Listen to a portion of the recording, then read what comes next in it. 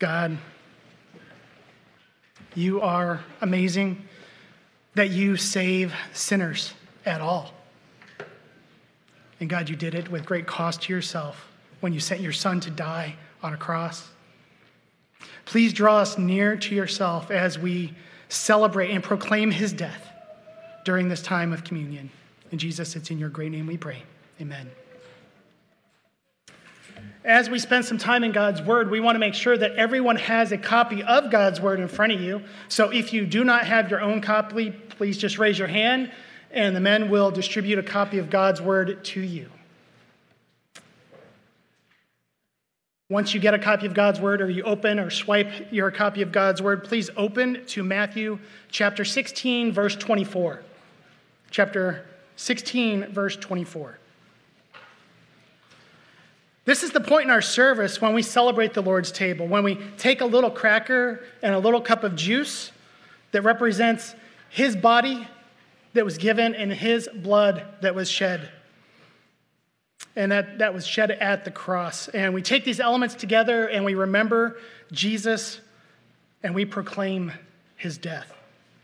This is a time for all those that would call themselves Christians, for all those that have repented and believed in Christ.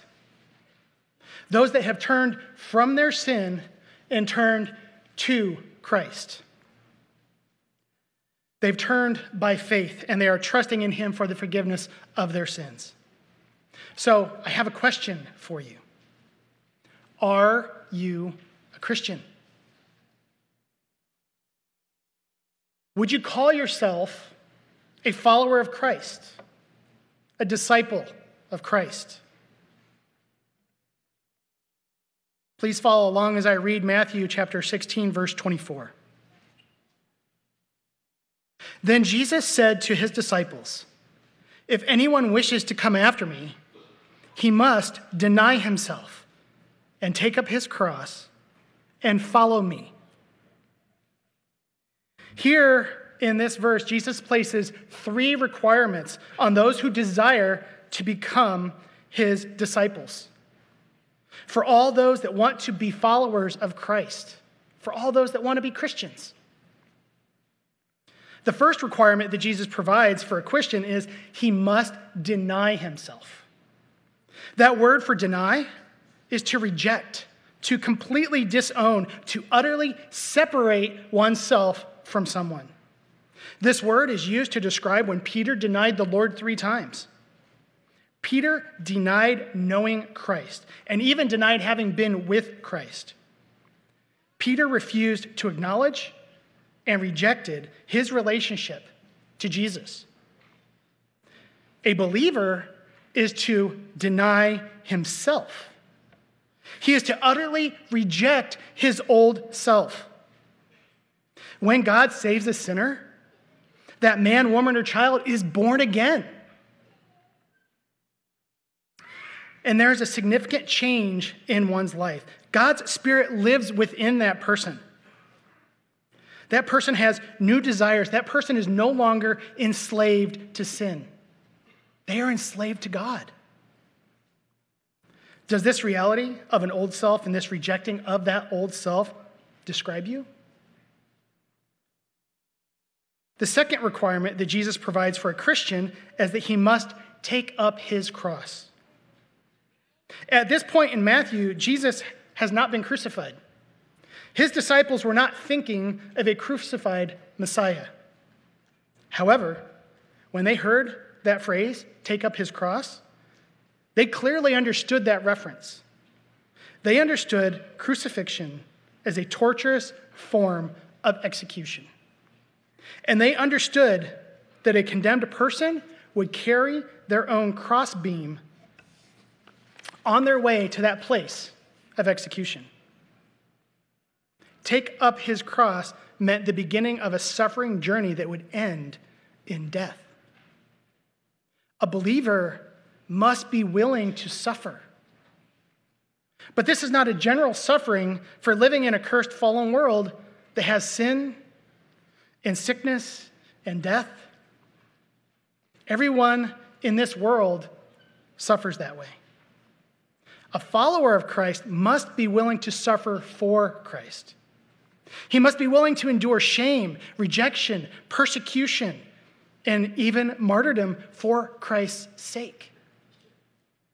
Are you willing to suffer shame and rejection, persecution, and perhaps even martyrdom for Christ's sake? The third requirement Jesus provides for a Christian is that he must follow me. Jesus requires a present, ongoing obedience to him. This is not a perfect obedience, but it is a faithful submission to Christ in all things. Jesus is not simply a part of a believer's life, Jesus is the point of their life. Are you following Christ? Jesus was a suffering Messiah. And at the cross, Jesus suffered a physical, physically excruciating death, but even more than that, he suffered under the wrath of God. He bore the penalty of sin for all of his people for all of his disciples. Are you one of his disciples?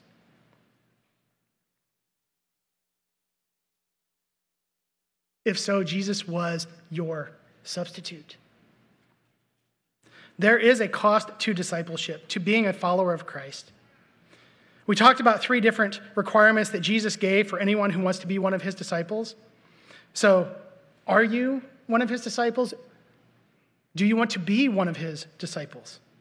Does your life reflect that inward reality of a changed life wholly devoted to Christ? If you would answer on your own admission, you would answer that question no. Then, when we simply ask when the elements come by, that you would simply pass them by. This, this is a time for believers, for those that would call themselves disciples, for those that would call themselves Christians. But please talk to the one who brought you, talk to me, talk to anyone of the other pastors. We would love to have a conversation about what, about what it means to be a disciple of Christ. Believer, there is a very high cost to discipleship, to being a follower of Christ. But what is that compared to knowing Christ? What is that compared to Jesus bearing the wrath of God for us? What is that compared to spending eternity with Christ? What is that compared to the glory of Christ that we will see in heaven when we see him face to face? Everything that this world holds dear is counted as loss.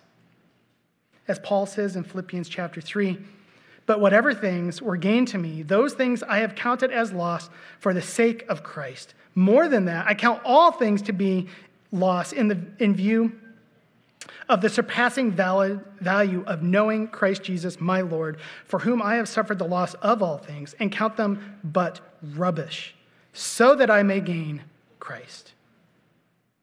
When your hearts are prepared, please take communion on your own. Men, please serve us.